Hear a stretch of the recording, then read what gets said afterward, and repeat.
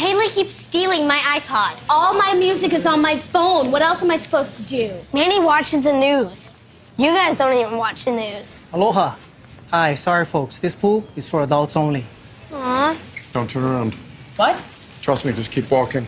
Wait, where are you guys going? Guys? What just happened?